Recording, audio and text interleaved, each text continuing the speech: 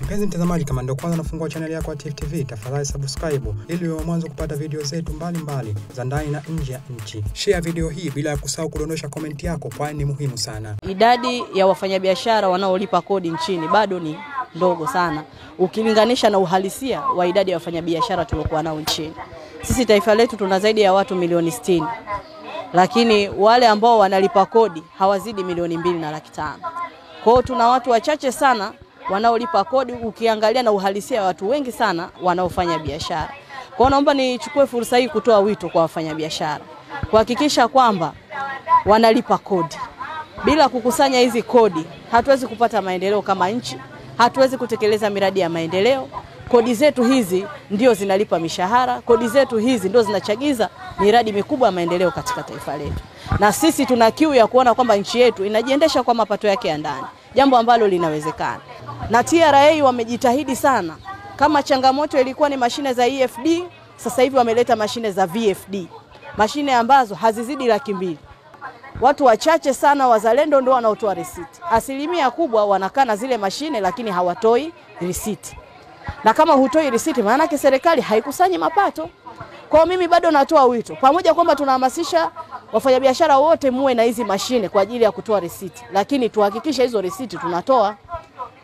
Utashangaa kuna duka watu wanaingia na kutoka, lakini ukienda kukagua pale risiti unakuta hakuna risiti iliyotolewa hata moja. Lakini lingine kwenye hizi risiti, tunaomba sana wale wanaonunua bidhaa wachukue risiti. Leo tumeshuhudia, tumeenda pale sheli eh, kuna kabisa dustbin imejaa risiti. Kuna changamoto bodaboda wanapoenda kuweka mafuta hawa, hawachukui risiti. Kuna changamoto wanaoendesha magari wakienda pale wanaweka mafuta hawachukui risiti. Sasa wewe unaweza usichukue risiti kwa sababu una haraka, lakini risiti ile ile anaweza kuchukua mtu mwingine akaenda kuweka kama source of reference kwenye taarifa yake, akaonekana kwamba amefanya hiyo transaction, lakini kiuhalisia hayo manunuzi yeye hajayafanya, amefanya mtu mwingine. Kwa hiyo wewe unaweza usichukue risiti, lakini kuna mtu mwingine kupitia ile ile risiti halipi kodi. Kwa hiyo tunapoteza mapato ya serikali. Kwa hiyo mimi naomba wito wangu, unaponunua bidhaa hakikisha unadai risiti ili uweze kuisaidia serikali kuweza kukusanya mapato. Lingine ambalo limelalamikiwa ni swala la huduma kwa wateja. Mimi nafikiri TRA hili wamelichukua na nimeona wanaendelea mafunzo kwa vijana wetu. Naomba sana vijana wetu, bado naendelea kusisitiza tuendelee kutoa huduma bora kwa wateja. Mteja ni mfalme. Sisi tunataka kukusanya kodi na wao ndio walipa kodi, kwa lazima tuwahudumie huduma iliyo bora kabisa ili wakitoka waridhike na huduma ambayo tumewapatia. Unapofika kwenye ofisi zetu unapokelewa, unasikilizwa, na pale utakapopata changamoto, basi usisite kutoa taarifa. Lakini zoezi hili la kuwafundisha vijana wetu linafanyika siku hadi siku.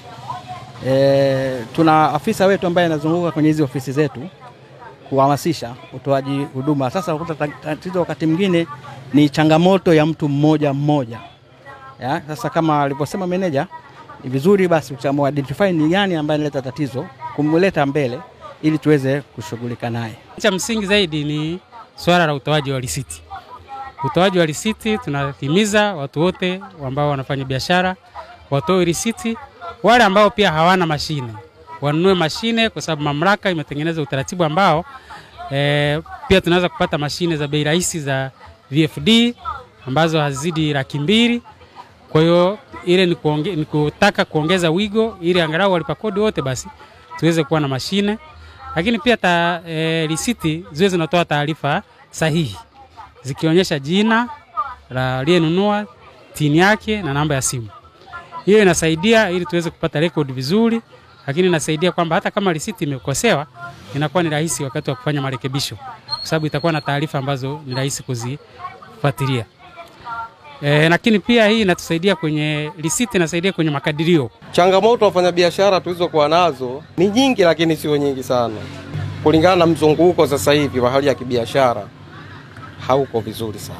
TRA kwa mimi binafsi nasema ni wenzetu ambao tunaenda nao vizuri, ambapo hata ukiwa na changamoto yoyote ukifika ofisini kwao ukiwaelewesha wanakuelewa. Kuhusu swala la risiti, nadhani ni katika swala la kuelimisha tu wengi ni bodaboda mm. watu wa madumu wanachukua, watu wa magari wanachukua, lakini bodaboda anaona labda ni kitu ambacho hakina umuhimu kwake. Kwa mfano anakuja hapa anapima mafuta ni elfu mbili anaona kwanza aanze kusubiri risiti, anaona kwamba anachelewa. Kwa hiyo ni kuwaelimisha tu wapate elimu kwamba risiti ni haki yake, anatakiwa kuchukua risiti, ni kwa faida yake na ya kwetu sisi. Tunaomba kauli nzuri kwa TRA. Tunaomba sisi ni wateja, yani tunaomba mtusikilize.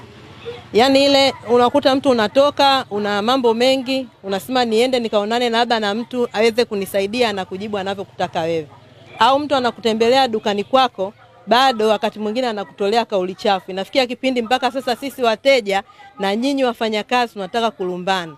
Tunaomba tu mtuvumilie, kwa sababu sisi ni, ni walipa kodi. Umeona, mtusikilize pia.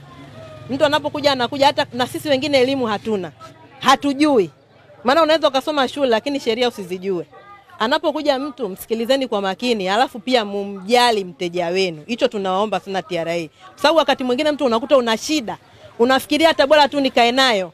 Mtu anakuandikia kodi kubwa na unamlalamikia, anakuambia anakuangalia the way ulivyo. Kama ni biashara hizi zina kipindi na kipindi, msitegemee kwamba mkikuta labda leo watu wamejaa, kesho mtawakuta vile vile. Wakati mwingine biashara inapanda na kushuka. Sasa mtu anapokuja, anapotaka kusikilizwa, mumsikilize. Tunaomba hicho, tunaogomba. Wakati mwingine tunaamua tukae na shida zetu mioyoni mwetu, kwa sababu ukifika unadharauliwa.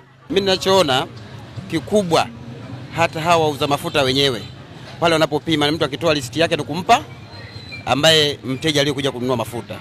Naona ndio la msingi, bado siachi listi yako hapo, chukua. Hiyo ndio msingi, lakini bodaboda wengi wakishapimiwa mafuta anafanyaje? Anaondoka, na acha risiti. Tifu TV inakupatia video mbalimbali mbali kutoka ndani na nje ya nchi. Tafadhali endelea kutufuatilia kupitia chaneli yetu ya Tifu TV, YouTube, Facebook, Twitter na Instagram, bila kusahau kudondosha komenti yako, kwani ni muhimu sana. Tifu TV tupo kijamii.